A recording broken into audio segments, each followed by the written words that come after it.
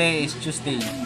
So yun, wala tayong pasok kaninang umaga. Pero ngayong hapon, um, meron na 4 to 5 p.m. Then, 3.15 na ng hapon. Kaya, kailangan na natin mag-ayos. Kasi, ano eh, nagsulat ako ng mga pinapasulat ni sir. Um, ito, sulat ko. Yung mga, ayan, And guys, um, parang gusto ko pang umiga, matulog, pero wala tayong magagawa. Wala pa akong tulog eh, kasi nagsusulat ako nga. Susulat nga ako, diba? Ito, ito. So yan, nakadalawang page pa lang ako sa notebook. Ayan. So yun, kailangan na rin natin ulit magpalit para sa online class dahil um, dito sa bahay talagang sanay ka na talaga walang signal dito kaya kailangan kong pumunta ulit sa bukid. So yun. Um, kailangan ko na pumunta sa bukid. Bye ma. Ay kunin ko yung tubig ko. Nakalimutan ko na yung tubig. So yun. Nagbaon na lang ako guys ng tubig ko. Tapos, syempre yung notebook. Kasi magdi-discuss rin kami mamaya ng mga assignment namin na ginawa. Pupunta muna tayo kay Arman. Hi guys, dito tayo kay Arman. Tatambay muna tayo dito saglit para bago tayo pumunta sa bukid. Favorite tambayan na doon. so yun, um, sabi natin magtatambay muna tayo dito pero nakairam tayo na headset. Kaya go go go. So yun guys, nandito na tayo. Um, pupunta tayo ulit sa bukid. Yun, titignan natin. Opo, ang daming tao doon. May tao kaya medyo sag mamaya tayo kaunti. Punta para so yun guys, ang daming tao. Meron silang tatlo doon, apat.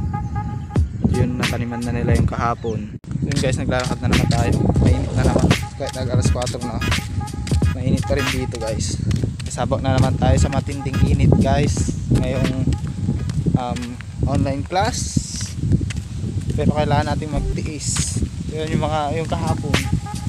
Diba sabi ko sa inyo tatanim sana ako ng paral kaso uh, hindi na ako yung nakuha kasi sabi ni akala nila may pasok ako ng umaga kaya yun ginawa ko na lang ng ayos ng gamit ko sa bahay yun ang init yun guys nandito pa rin tayo sa regasyon malalim pa rin so ating day 2 online class so yun balik sa dati punta tayo sa kubo ulit So yun na nga guys no, um, nandito na tayo ulit sa favorite place natin dito sa Kubo. Dahil dito lang yun kasi may signal.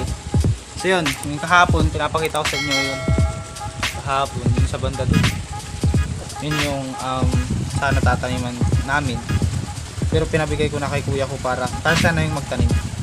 Kaya yun, dito tayo ulit.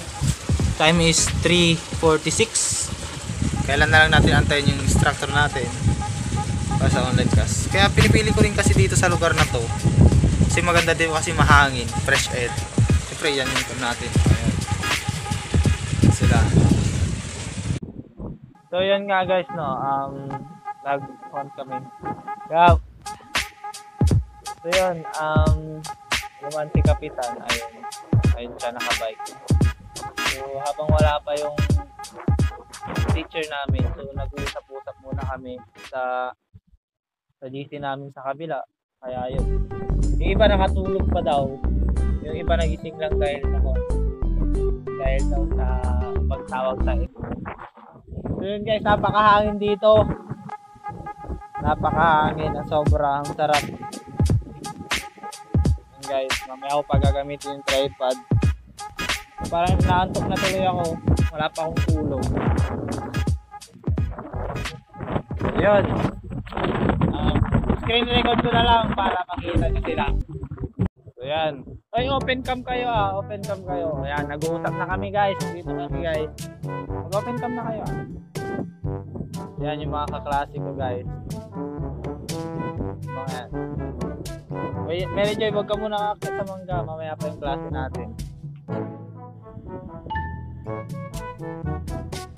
Oh, ayan, andun na yung isang kaklase guys, si Mary Joy Delphin. Napakasipag niya, grabe. Kaya kita idol eh. So yun, tulog pa nga. Tulog pa yung iba guys. Kaya, Ayan, may nag-chat na rin sa GC na kung meron ng klase pero wala pa. Kasi hindi pa naman alas 4. Yun, sobrang napakahangin talaga dito guys. Oh. Oh. Nililipad yung book ko guys. Oh, yan. Ito ang buhay namin sa probinsya. Probinsya. Yun, mayroon kaming dagat dito guys. Mayroon dagat dito sa amin oh. So ilalakbay ko kayo. Lalakbay ko kayo dito. Kailangan natin punta sa dagat. Tapos, ayun. So yun guys, andito na nga tayo sa dagat ano. Ito yung dagat namin guys. So dagat dito, dito na, naliligo yung mga isda. So yun guys, medyo nakakainga na tayo. Yun katatapos lang ng online class at yun ah, pinaliwanag namin yung mga assignment namin. So yun, ako sobrang nakakaya kasi yung nagawa ko. Kasi tinawag ako ni ma'am, saka nagloko yung ginagamit namin app para sa video call or yung MS Teams. Grabe. Naiiya ako kay ma'am pero um, chinat ko naman na siya. Sabi niya okay lang daw pero bawi na lang siguro next sa schedule sa Friday. Kasi may pinagawa na naman siya assignments. Kailangan na naman namin um, gawin yung mga pinapagawa ng instructor. Kaya yun. Tsaka dito guys nandito tayo kasi sa bukid. Yun medyo nilalamig ako kasi ang lakas ng hangin sobra. And then yun. Ayan o nilalamig ako kanina pa. Tinitiis ko lang. Yan. tapos na yung klase natin kaya uwi na tayo kasi nilalamig na ako talaga so yun nga guys ano pauwi na tayo. Maglalakad na naman tayo pa, pauwi. Then syempre ni- nilalamig ka talaga ako guys. So yun nagbigay sila ng assignment ulit. Kaya mamaya gagawin na naman natin pag uwi natin. Yun nga guys ah, medyo kumukulog-kulog na kaya tatakbo na lang tayo kasi baka maabutan tayo ng ulat so yun. Huh! tatakbo tayo guys kasi baka maulanan pa tayo dito. Mahirap na. So bukid pa naman ito guys Di ba kita si ulit?